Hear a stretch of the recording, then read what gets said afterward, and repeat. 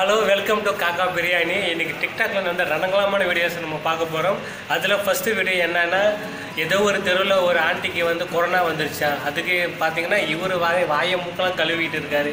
என்ன நீங்களே போய் பாருங்க. என்னாச்சு? ஆம்புலன்ஸ் வந்திருக்கு? ஒன்றும் இல்லை. பக்கத்து வீட்டு ஆன்ட்டிக்கு கொரோனா வந்திருக்கான்.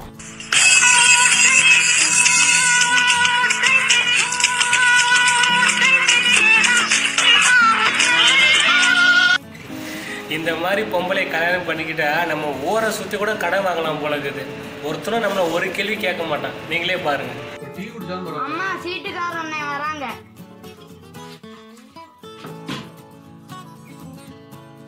பாய் மனுஷா சீட்டுக்காரங்களுக்கு கையில் வச்சிருந்த காசு இந்த மாசம் எடுத்து குடிச்சிட்டு குடிச்சிட்டு குடிச்சிட்டு அண்ணே வாங்கினே வாங்கினே வாங்கினே உங்களுக்கு வச்சிருந்த காசு தானே குடிச்சு அழிச்சிட்டாரு இங்க பாருங்க குடிச்சிட்டு எப்படி எப்படி கிடக்குறாங்க பாருங்கண்ணே. இந்த மனுஷனை வச்சுட்டு நான் குடும்பம் ஓட்ட முடியுமானே குடும்பம் ஓட்ட முடியுமா? சொல்லுங்கண்ணே நல்லா சொல்லுங்கண்ணே. அடுத்த மாசம் தரனே அடுத்த மாசம் சேர்த்து தரனே சரிங்க சரிங்க. நல்ல மனுஷங்கிறதுனால கொண்ட உடனே போயிட்டாருங்க.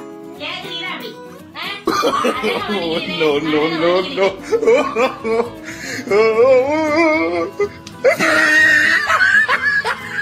நீங்கள் பெரிய பெரிய இன்ஜினியரு டாக்டர் எப்படி வேணாலும் இருந்துட்டு போங்க. ஆனால் இந்த செவுத்துல எழுதின எழுத்து மட்டும் உங்களுக்கு படிக்கவே தெரியாது.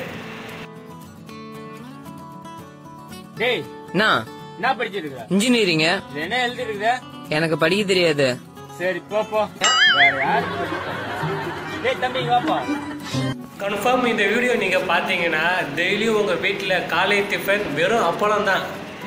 ஏம்மா சோறு வைக்கல குழம்பு வைக்கல? ஆனா காலங்காத்தால கிச்சன்ல இவ்வளவு அப்பளத்தை ஏமா பொரிச்சு வச்சிருக்க? அது அப்பளமா? பூரி சுட்டு வச்சிருக்கேன். பூரி அடி இப்படி சப்பளஞ்சு கிடக்கு. ஆனால் ஒன்றுங்க இந்த குவாரண்டைன் டைமில் டூ கே கிட்ஸ் வந்து பார்த்தீங்கன்னா டிக்டாக்ல வேற லெவல் பண்ணுறாங்க நீங்களே போய் பாருங்க. டேய் என்னடா இது வேலை? உடுப்புல என்னடா பண்ணி வச்சுக்கிற? என்ன சொல்லிட்டு போன? அதுக்குன்னே குளிக்கிறதுக்கு கொடுமா?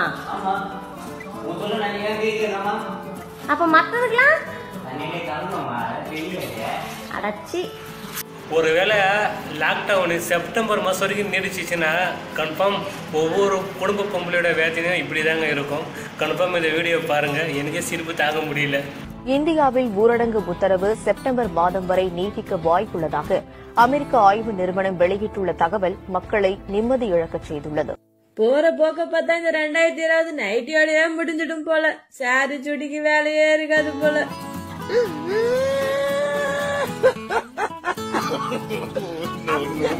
கடைசியாக இந்த வீடியோ வந்து பார்த்தீங்கன்னா என்னை அப்படியே வந்து பேஜார் பண்ணிருச்சு.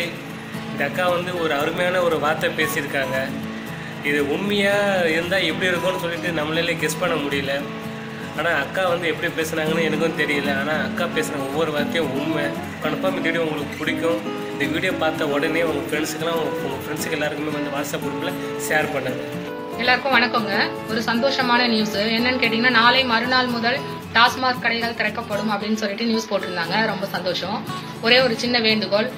ரேஷன் கடையில் பொருள்லாம் ஃப்ரீயாக கொடுக்குறாங்க. அதே மாதிரி டாஸ்மாக் கடையிலயும் ஒரு கோட்டரம் கோழி பிரியாணி ஃப்ரீயாக கொடுத்தீங்கன்னா கோட்டரை எங்கள் வீட்டுக்காரர் அடித்தாலும் கோழி பிரியாணியும் பசியோட இருக்க பிள்ளைக்கு எடுத்துகிட்டு வந்து கொடுப்பாருங்க. இன்னும் வேலைக்கு போகிறதுக்கு கம்பெனி திறக்கல. டாஸ்மார்க்கள் டாஸ்மாக் கடைங்க திறந்தாச்சு. ரொம்ப சந்தோஷம்.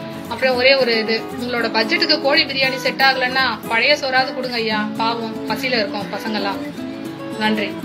எனக்கு வீடியோ பார்த்தீங்களா? கன்ஃபார்ம் வீடியோ உங்களுக்கு பிடிச்சிருக்கும்னு நினைக்கிறேன்.